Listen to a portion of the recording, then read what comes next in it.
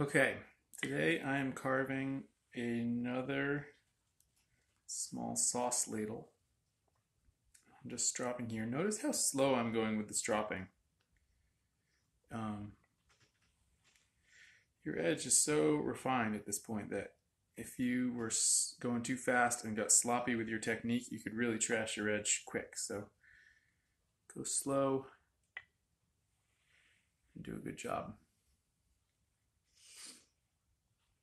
All right. One big kick I've been on lately has been putting your strop back into a case. Even if that just means wrapping it up. Make sure it's not just floating around. Get the light a little bit better. All right, so I'm going to do another one of these um, Grackle sauce ladles that I did a couple weeks back, maybe a month ago.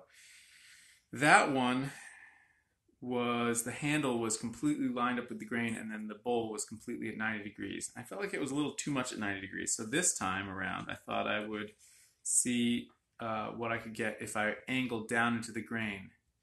Now, I didn't want to angle in the grain too steeply, um, but because it's radially split, because you have the grain running through the handle this way, I can angle it pretty steeply through this way. So what I did was, you can see this was the um, the top of the bit. So the bowl is angled quite steeply. Um, and the handle is angled less steeply within the grain if, if this represents the, the original plane of the wood grain. And I had to stop, I would have gone steeper, except I ran out of depth in the piece of wood I was using. So um, I ended up with slightly less crank than I wanted. There is still some thickness here, so I'll be able to exaggerate that crank a little bit. Uh, what I was hoping for is I didn't like exactly how 90 degrees it was. I wanted to be just slightly off, but I don't think I'm going to be able to quite get there with this. At any rate, the first step, as always, is just trimming around your outline so that you can then um, so that you can then start working on the, the top face. And interestingly, you know, one of the hard things about the last time I did this was that the way it was angled in the log, it just made a lot of these things more difficult. So because this is a little more like how I conventionally do spoons, just a little more exaggerated, I suspect things are going to be a little easier and better behaved. But one of the things I'm seeing here is just that the uh, this is so purely end grain here that I have to be gentle with how fiercely I'm carving it. So I don't crush the grain. I want to be cutting it, not crushing it. That's one of the things, if you end up crushing the end grain, you end up getting this little grain tear out right at the rim. Um, so, again, this is a new shape for me. This is only the second time I've ever carved this shape. Um, but if you guys have any questions about anything, it doesn't have to be what I'm carving. Um, it could just be about anything you're struggling with with carving or things you see me do that are unclear why I do them or what some of the nuances are, please ask questions because it's better than just me sort of saying what I feel like saying. Alright, notice how I'm using the tip of the knife here so that my thumb is actually offset. And um, here, I'm going to tilt this whole thing down a little more so you guys can really see what I'm doing here. It means you won't be able to see my face, but you can handle that. So notice how my thumb is offset over here, but I'm using the tip of the knife between my hand and my thumb. This is one thing I see beginners take a moment to figure out is that you can't have your thumb behind the point. You have no power this way. Your thumb has to be offset. And then this hand is all it's doing is steering the knife. All the power is coming from squeezing with these fingers. All right, I also am a big believer in using pencil lines to keep myself on target here. So there, there. Now, part of the idea of this design is that I can get away with a steeper crank because I'm keeping the handle quite wide. So I need to make sure that I maintain that handle width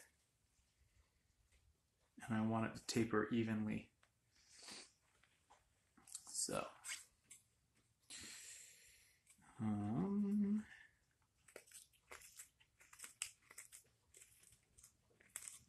and because it tapers this way, I'm going to be carving, instead of carving down to the shoulder from the tip of the handle in the way you do with a handle flares the other way, in this instance, everything is going away from the bowl the, the way the handle tapers, which is actually quite refreshing.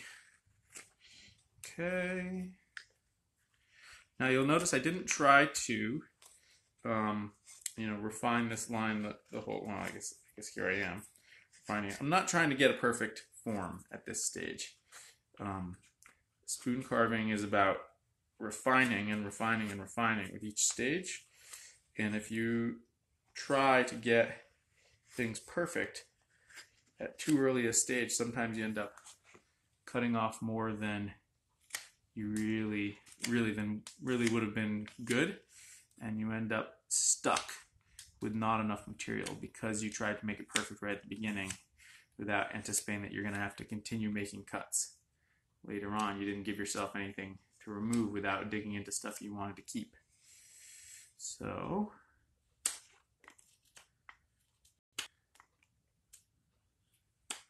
these guys, I feel like it's nice if they have a little hmm, flip at the end. I can't make it as strong as you could like with a metal one where it actually helps it hang off the edge of a surface. But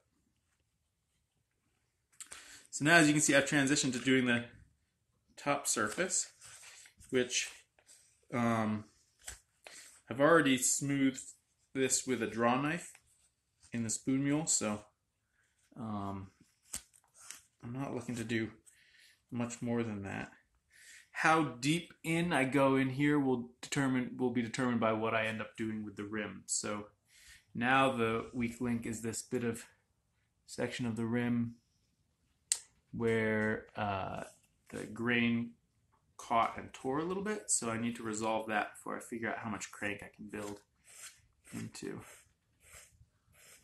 the spoon. So one nice thing about orienting the spoon like this in the log is that it just makes these cuts much more familiar. Or what I need to do is already built in. It's just a matter of degree. It's you know it's it's more extreme. So a little more delicate, like I need to be treading carefully, but um, which direction things should be cut and all that is very familiar. All right, so now The way I get more crank into this is by redefining this top rim to be more diving down in on this part of things here. So, um,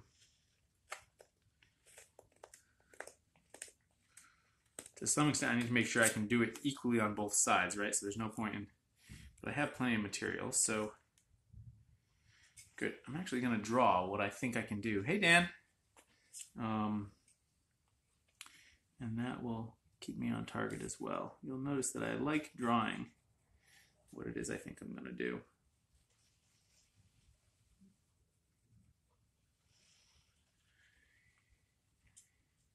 Okay, good.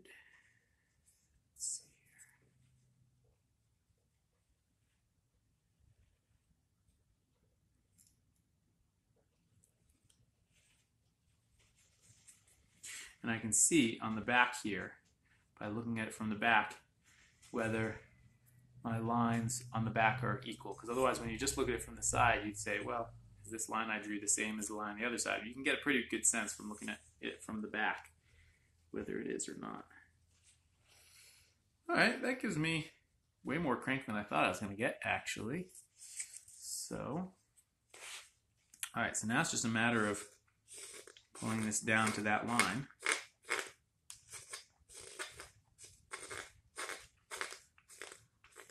So, um, today's Wooden Spoon Geek Out podcast Um, for those of you who don't know, I have a podcast called Emmett Audio. You can find it anywhere you get your podcasts.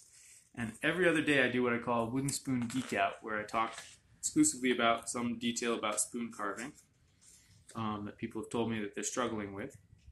And today I was talking about consistency, and it just occurred to me one of the things I talked about the importance of being able to draw the shape you want. But one thing I didn't talk about was the importance of using a pencil as you're carving to keep yourself on target and to allow you to um, end up with a consistent result. But that's really important, actually, as it turns out. I should um, sure to mention that next episode. So the idea with these ladles is not that they're going to be like soup ladles. For that, I have a much larger ladle that uses an oval shape to get me the extra size. But these are instead designed to like use to serve salad dressing from a mason jar, that sort of thing. So they need to be narrow enough to fit into a wide mouth mason jar, and then deep enough to hold, you know, a meaningful amount of liquid. Right. Notice that I'm not messing with any of the stuff in the middle of the bowl. That will come out when I start using the hook knife. I might take it out sooner um, if I think that it would help me. All right, good. One thing I will do is address this a little bit here.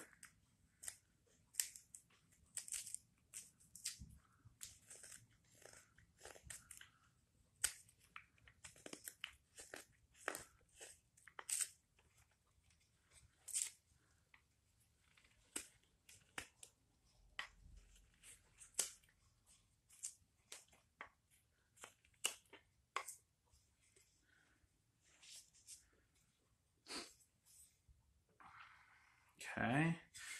It's not exactly the shape that I want at this stage, but it's too early right now to mess with that. So right now I'm just trying to get underneath all of the axe marks so that I know what I'm working with, what I have available to me in terms of shape before I go nuts. Because let's say I went and let's say I found a crack on the back that made this so that it would have to be less deep. Well, then I might want to maximize every ounce of size I got.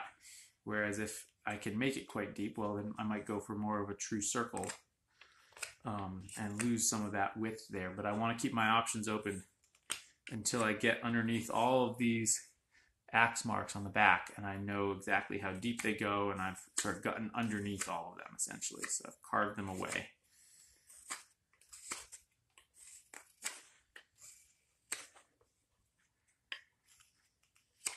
Hey, Greg.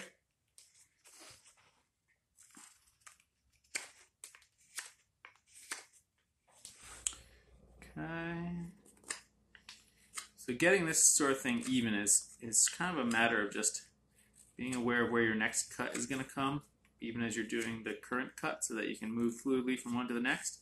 But you're basically just hitting high spots again and again. You know, you make a cut, you find the next high spot, you move on to the next cut.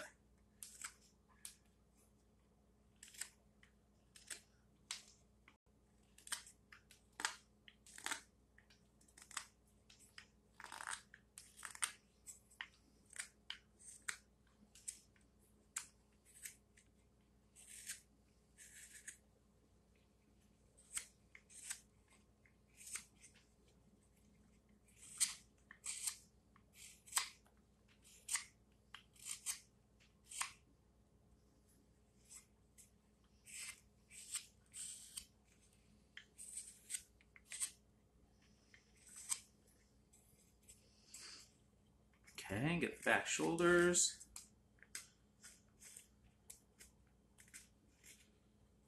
And the other thing that I'm trying to do is make this rim nice and narrow so that when I go to carve around it, I can get a nice, um, even, smooth cut.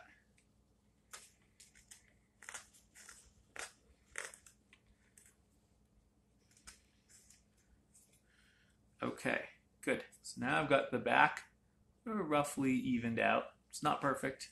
This is cherry wood, yep. Um, now I take the pencil again, and now looking at it from here, I'm to figure out what is the largest round shape that I can get. And um, actually, one thing I might do is stay back from the edge a little bit and do what I'm assuming is going to be the center of the bowl rather than try and define the outside rim. And that has the advantage of allowing me to draw the part across the, the neck here.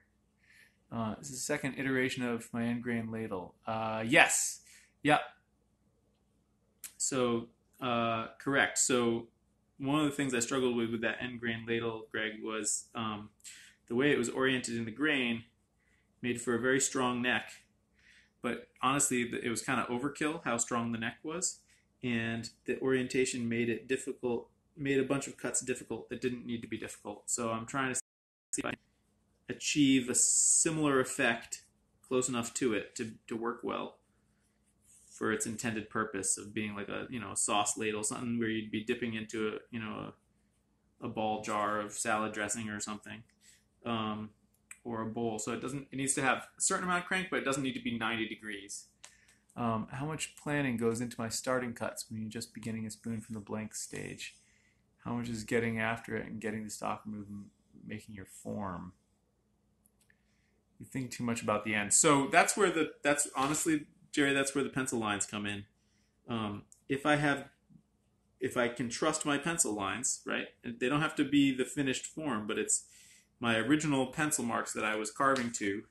Um, so now I'm going to go and I'm, now that I have the inside rim, roughly the way I like it. So now I'm going to draw the outside rim that I'm actually going to carve to. Um, so if I have the the rough form the way I like it, then I'll just carve to that rough form. And you can see how here at the sort of halfway mark, I have the chance to assess and shift and and figure out what the final form is going to be based on sort of the reality on the ground. Um, so yeah, and and I don't know if you watched that other video, Jerry, but there were there were some changes that happened partway through where I sort of took advantage of opportunities that the that the situation, the piece of wood had created for me. Um, so that can also happen, um, and that, that can be really nice. So now, because there's so much material here that needs to be removed before I can really see what's going on, I'm going to take the hook knife and sort of rough that out a little bit. Um, and that way I'll be able to define the top of the rim a little bit better. So let's see, I'm going to shift this around so you can see more what I'm doing. Uh, yeah.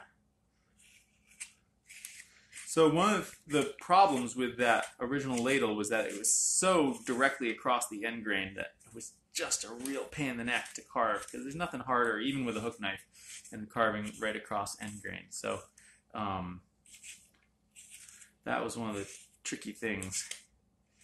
Was that, yeah. Um, was that the um, the hollowing was extremely hard, and you can see the hollowing here is not particularly hard. So trying to avoid cutting straight across end grain is, is a good idea. Um, and what I'll be curious to see is can I get I won't be able to get this handle quite as thin as I was the other one, but can I get it thin enough that it sort of achieves enough sense of delicacy that I feel like it's a good compromise. Um, and then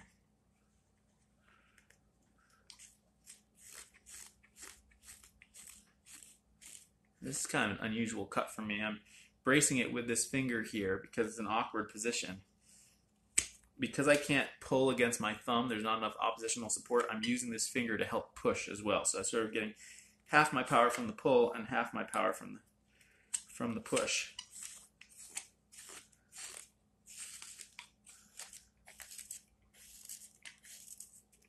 All right. Now remember, the goal is not to carve the whole bowl at this stage. It's just to get um, sort of the, the material down below this inner rim line that I've drawn here so that I can then trim around the rim, carve the top of the rim, without having that big mound of wood in the middle that still needed to be re- removed. So here we go. Front face here. So you can see the benefits of not trying to line up the bowl completely with the end grain. If it's tilted even slightly like this, it makes a tremendous difference in how easy it is to carve. Whew.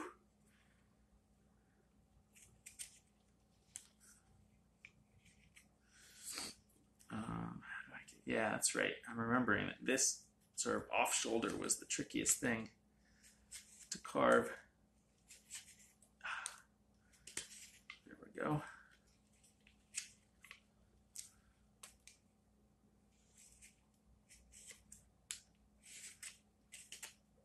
So I know you guys can't see it when it tilts over like this, but maybe it gives you a sense of, you know, how much sometimes you're holding the bowl so that it's upright and then you're getting into it like this. Um, all right. Almost ready to switch back. Okay, good. So now you can see from the side that I've removed that material. Everything is down below the rim. Let's shift this back over here. And the sheath go?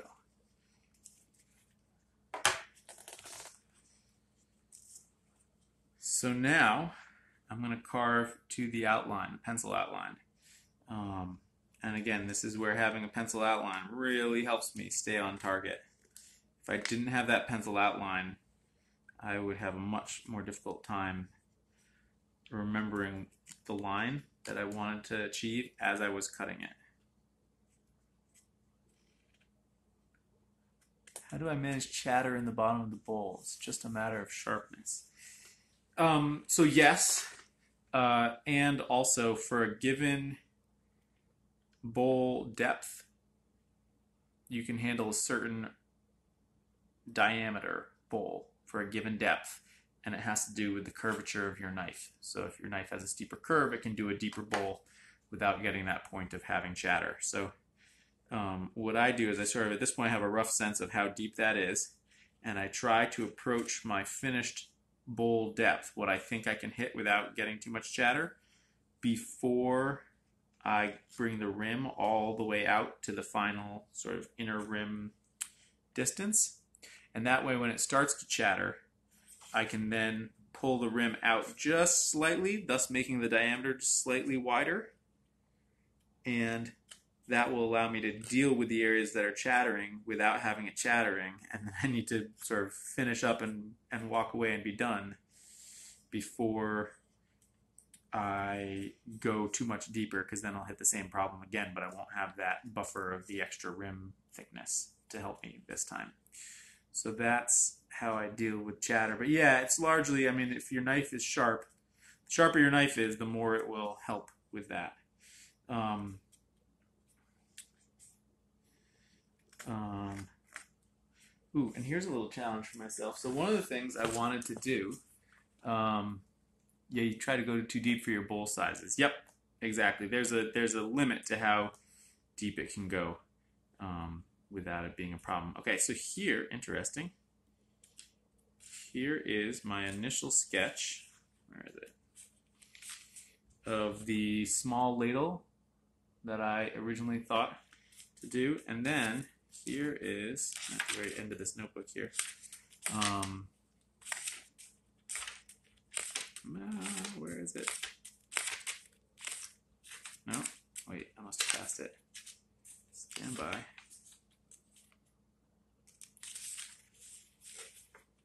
Wait, or is it in here? I think it might be in my pocket notebook. Notice that I'm not putting down this Sloyd knife. If I was going to put it down, I'd put a sheath on it. Um, so there's something I've been wanting to try, which is why I'm doing this ladle right now, which is doing this, having a very slight lip on the bowl of the ladle. So that's, I need to make sure I leave enough material to then create that lip. Does that make sense? Um, the other interesting thing to notice here is how much these shoulders need to be brought in so that I achieve that sort of tight look that I'm going for. Okay, so now that I have carved around to the outside, now I'm going to take my pencil and I'm going to draw the change that I want to have that be nice and tight there. So you can see how it's really the pencil helping me achieve the design that I drew in the first place. Think if you don't use a pencil, you end up in places. Sometimes you might end up in a place that's cool. A lot of times you just end up in a place where you or boxed yourself into a corner and couldn't achieve what you wanted to achieve. So you can see how to get the look that I wanted, I need to remove that material there. It's really easy to leave this material on the shoulders, and it's an important step of learning to figure out that you're leaving it there and figure out how to remove it in a way that gives you the look you're looking for.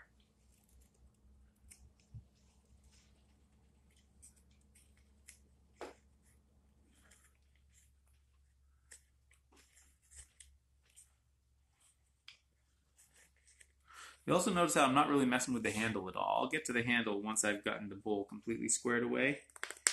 But if I kept going back and carving the handle every time this got messy, I would end up with way too thin of a handle.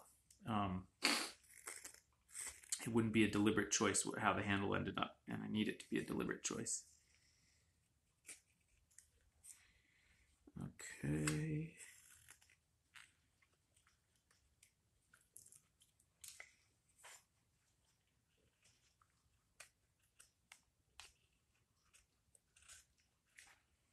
Hey, is anyone watching right now going to be at the Spoonesaurus gathering at Matt's house next weekend? So now you can see that pulling that in has created this really wide bit here. So now I am going to do two things. I'm going to redefine where that inner rim is because it needs to be, you can see how it's sort of too far in. So now I need to push it out a little bit and say, okay, the rim is going to actually come around to there. It's going to come around to there.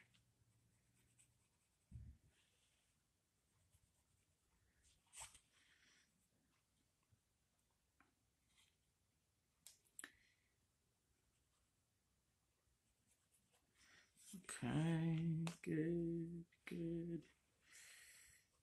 Okay. So now move this material up to there.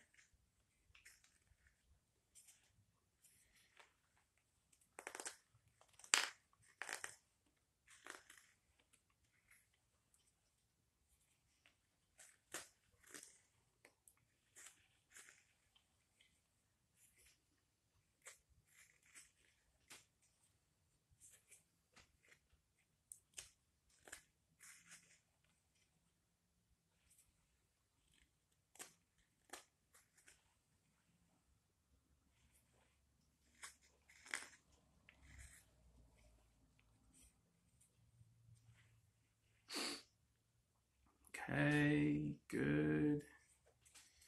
Now, bring that down. And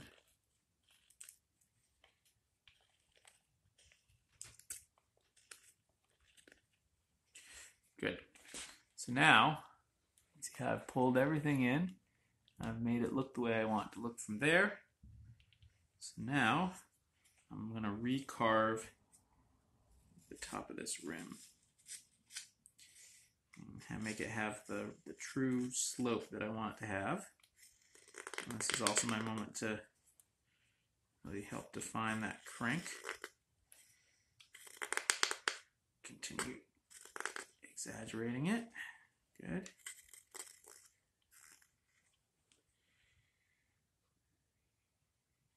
And I'm going to have this top rim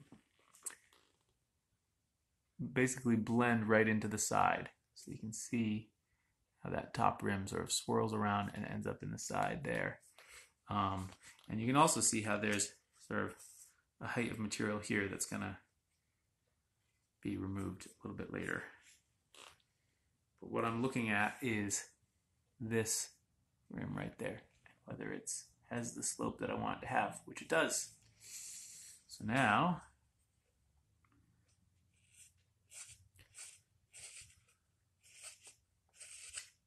do the other side.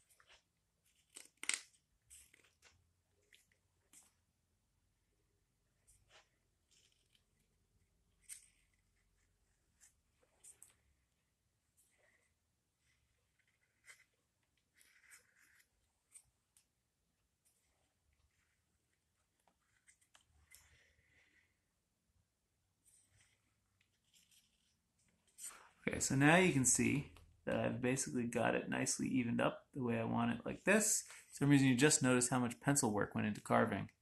Yeah, I mean, uh, we, I think I am, I mean, I'm probably not unique in that, but I, I am certainly unique in showing it. I think a lot of spoon carvers putting out videos are putting out videos of them carving without using a pencil.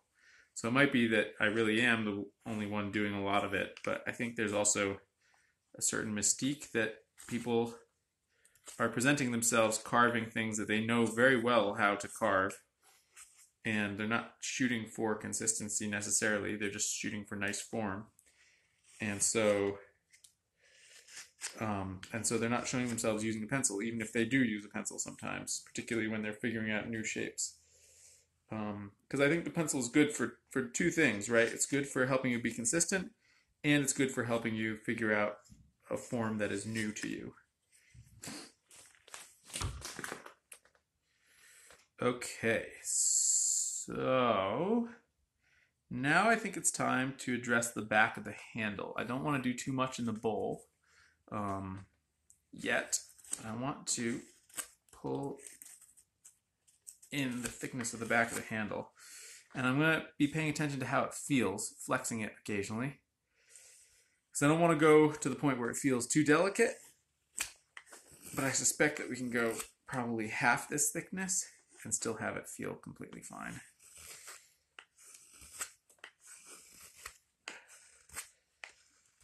Notice how my thumb, instead of my thumb being here, it's actually like this for this part.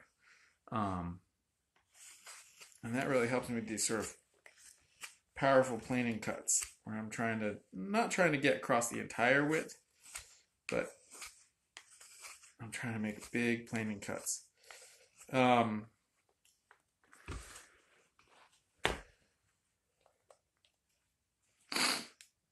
let's see. How does that want to be carved? It's a little unclear which direction this little flip wants to be carved. Need to be a little bit of both.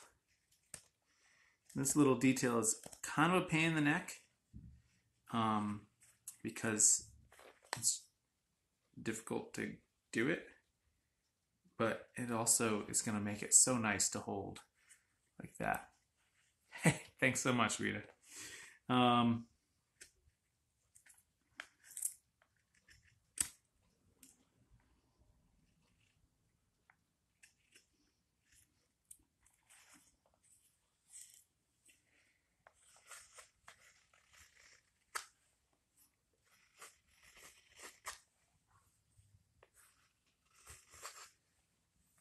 Okay.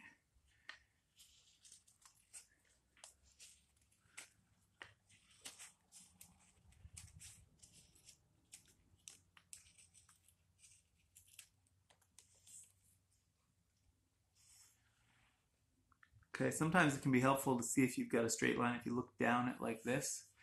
Um, So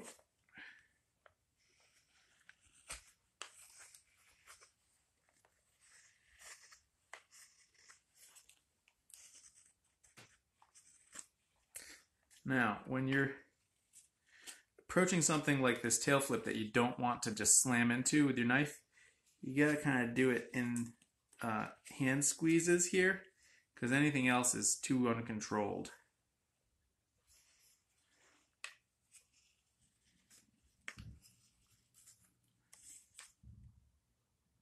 Okay, that's starting to flex, so we're not going to go much narrower than that.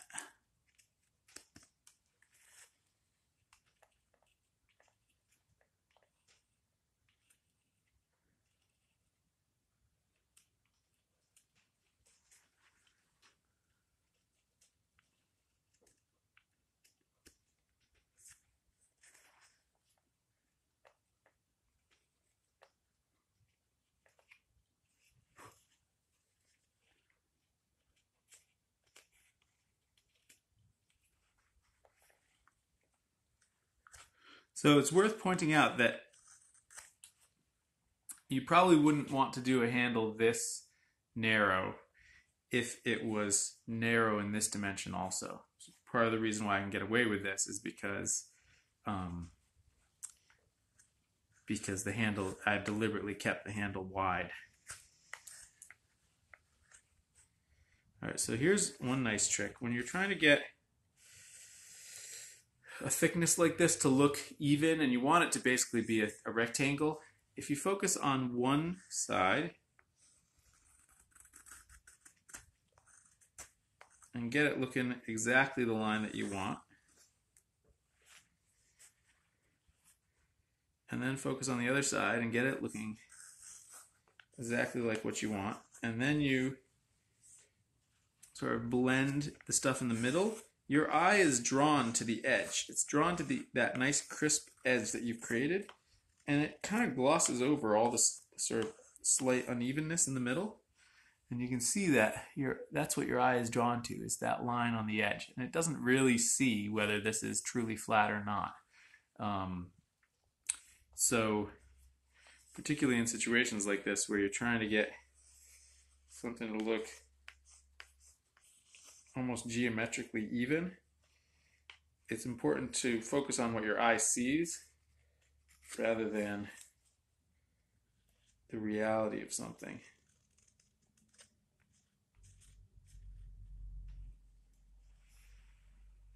You see that looks much nicer now because I'm going to be eliminating these little bumps here.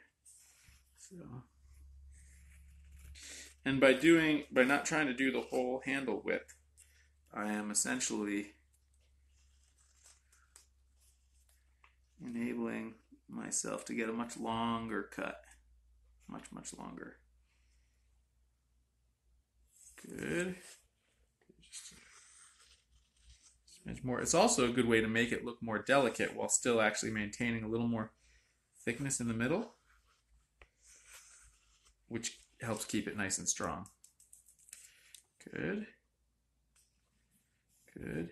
It's interesting. I actually want a slight amount of flex because a slight amount of flex is going to make the person using it use it with the right degree of delicacy. It's going to feel different in their hands. And they're going to treat it differently. Um, so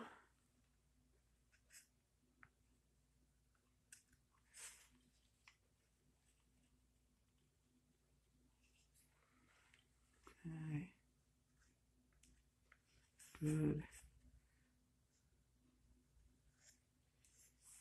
Good.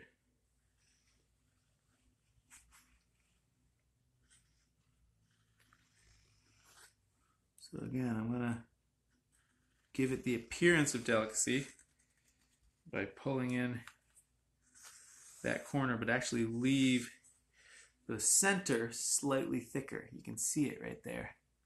That, well, that's what you're seeing there is the bump, but you can, uh, there's no good way to show you. You can see how the center is sort of has a slight swell to it. And that gives you the appearance of delicacy and a nice crisp straight line, uh, particularly nice curl A, um, while at the same time maintaining some strength in the center.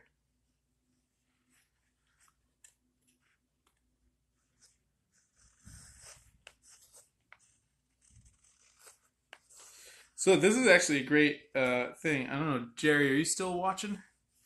Um, because Jerry asked, you know, how much do I know what I'm shooting for right at the beginning?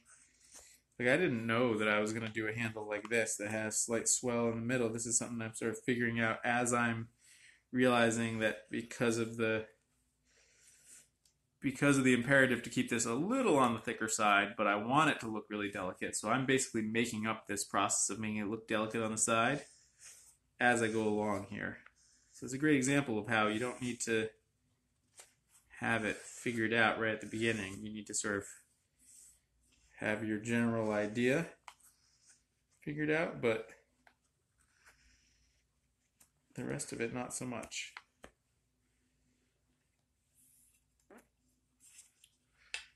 Let's see how this feels now. Um, it's feeling pretty good. This needs to be tapered the same way.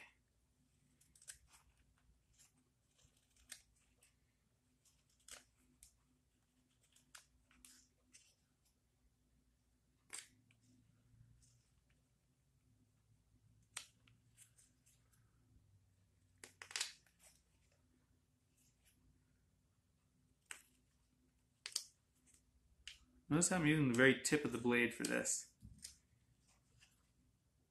Just the very tip. Okay. Good. Now I can see that I need to do a little bit of refining of the lines as you see them from the side. I'm sorry, from the from the plan view.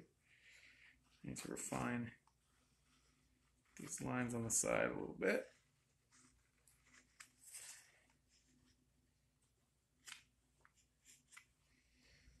Okay. It's funny, they're um a slight slight straight tapers are fairly easy to do, but the more precise and minimal form you you shoot for, the trickier and trickier it becomes. so something like this where I'm trying to get it to taper evenly, and also handle length also makes things difficult. So if you're trying to do a longer handle, getting a nice even taper on a handle that's this long is much harder than an even taper on like a scoop handle, for instance. So.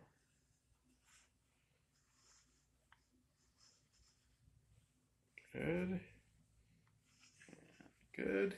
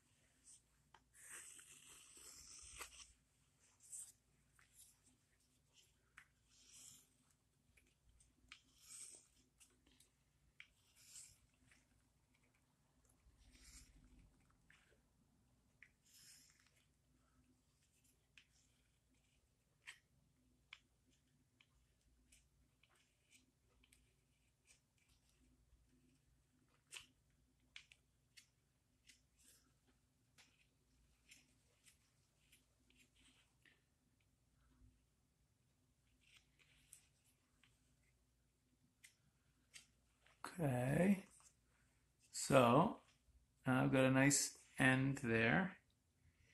That's starting to come together.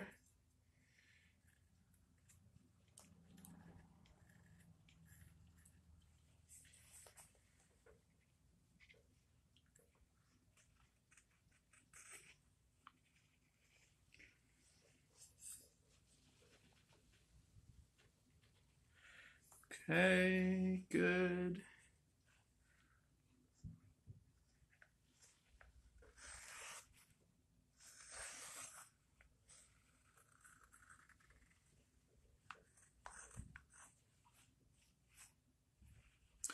The one thing that you end up getting with this style handle is that um, the bowl is going to dig into the handle just slightly and it's going to form essentially a sort of scallop across the back of the handle here. So I don't want to make this too thin because then that that scallop is going to bust right through to the to the back. So um, at this stage, me think about what's the next right move. Um,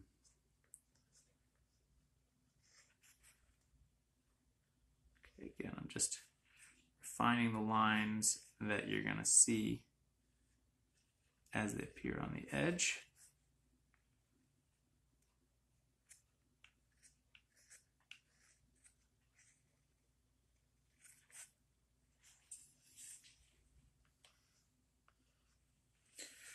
Okay.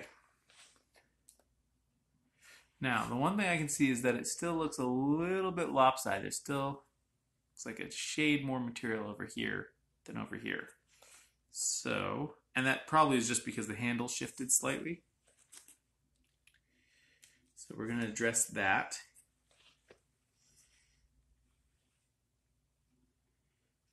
Um, how are we going to address that?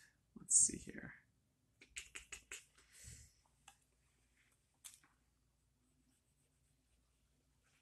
So now I'm basically just going and using a pencil to draw the areas where I think I should remove a little bit of material. Am I going to redraw the entire thing? Maybe. Maybe that's what I'm doing. Um,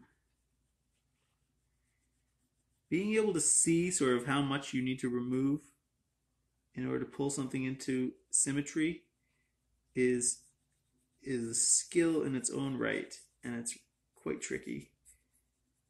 Um, and the best advice I can give you is just to kind of squint your eyes because if you squint your eyes it helps you pay attention to certain things and ignore other things. So I think if I remove particularly this strong bit right here that will help tremendously in how symmetrical the whole thing feels. So be careful on the side here. That actually needs to be cut the other direction, which is counterintuitive. Grain change right there.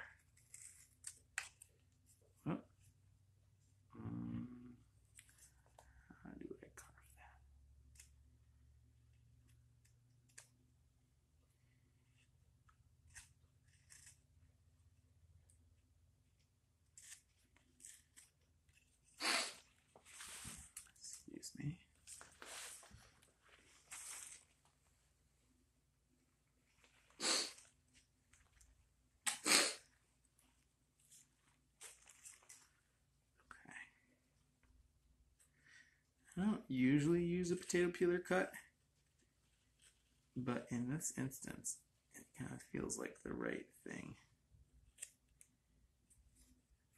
Very carefully getting to that line.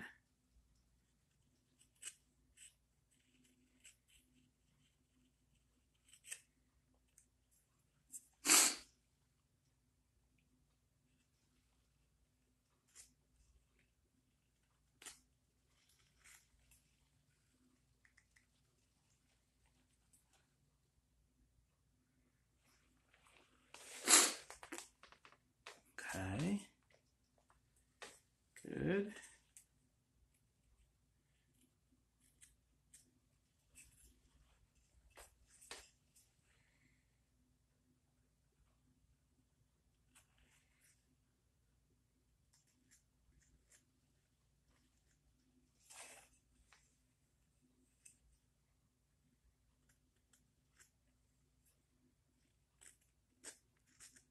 So you can see as I go along here, what you're seeing is that my motions are getting smaller and smaller, more delicate.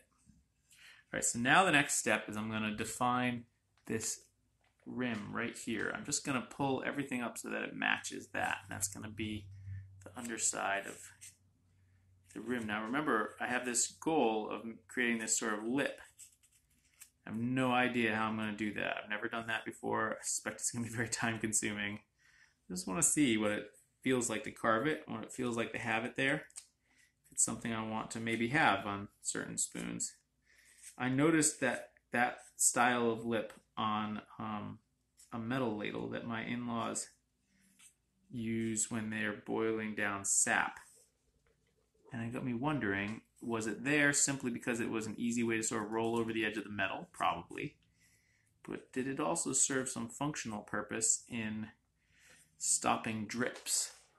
So that was what I wanted to explore a little bit.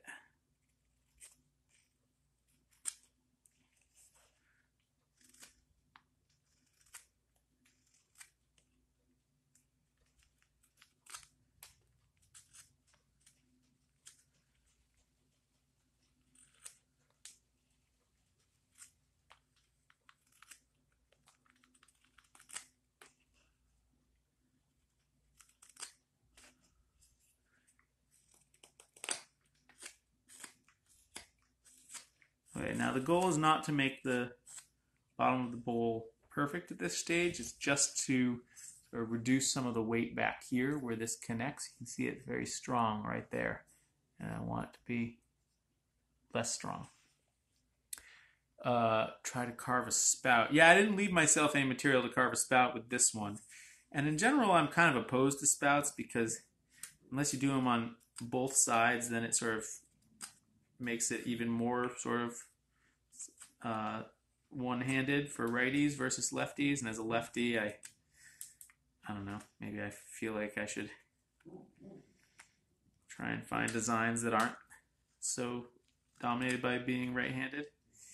Um, but yeah, I've never tried carving a spout. I imagine they're be a little tricky. Hey, Will, it's okay, sweetie.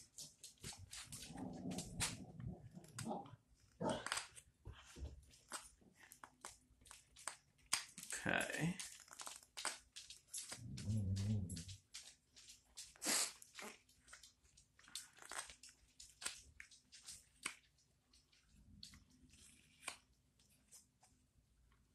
To be sure, you know, it's it's I'd say actually probably has very little to do with the fact that it's right-handed Greg. It probably has more to do with the idea that I'm not convinced that the spout actually does enough functionally to be worth it. Right? Like without a spout, the liquid will still come over the edge just fine at a given spot.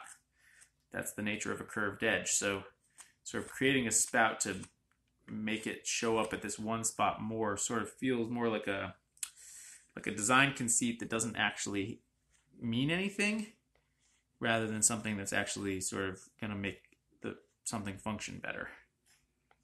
Does that make sense?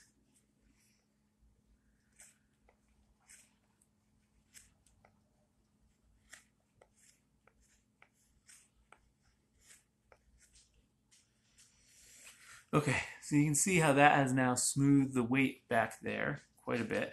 Um, I don't want to do more until I do the inside of the bowl because I want to, again, there's going to be a scallop coming out of the, the front here. Um, so, at this stage, I'm going to do the inside of the bowl. I'm going to do just a smidge more here, just pull it into alignment just a little bit better.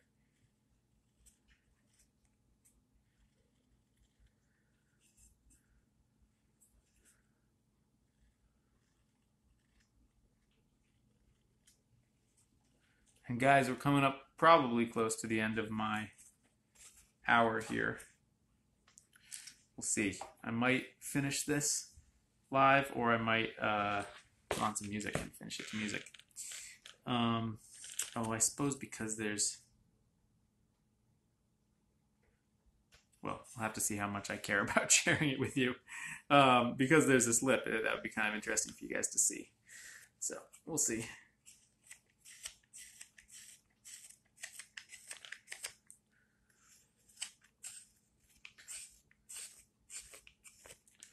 All right, so now when I get to this part where I'm carving the bowl, I want to have the center of the bowl swirling down and work my way out from it rather than leave a big lump in the middle. Let's move this over here.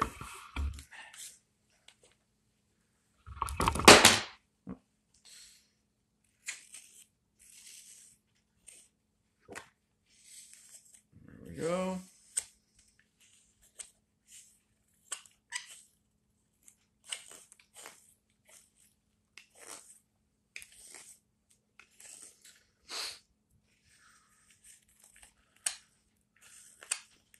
And then once I've got the center going down, I'm going to start working my way out and making the rim narrower and narrower. Um, yeah, I think I'll be able to save this. We I, I realized I didn't do a great job of checking to um, make sure I had room on my phone to save it. Um, so I assume, at very least, you'll be able to watch it for the next 24 hours. Um, it's just a matter of whether I do the, the final bit, which will be that creating that rim, whether I do that live or not.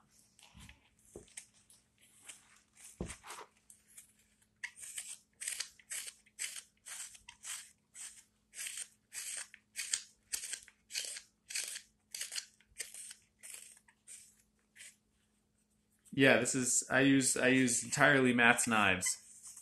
That's that's all I use at this point. Mm, let's see I make it so you guys can see this better. Turn my body a little bit. There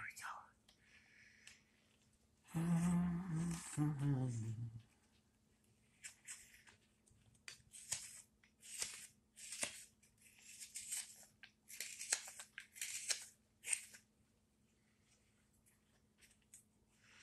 All right, and now as I work my way out, I want to essentially create the rim thickness that I'm looking for.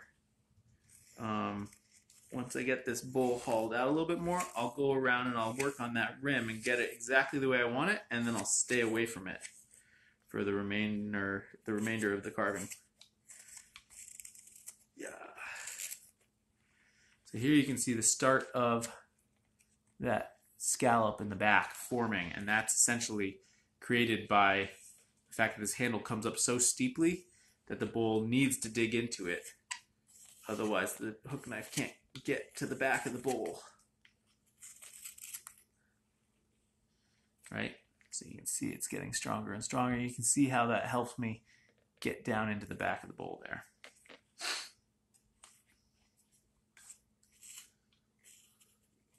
I also think it helps create a bit of an organic connection between the handle and the bowl, whereas if the the two were just kind of unrelated to each other, one stuck on the other, it wouldn't be as interesting.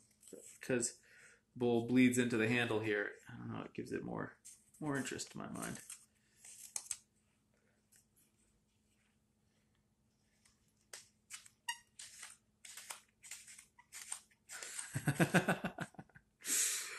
Would it help you, Greg, if I told you it was tough for me doing this? This is this is hard hollowing, man.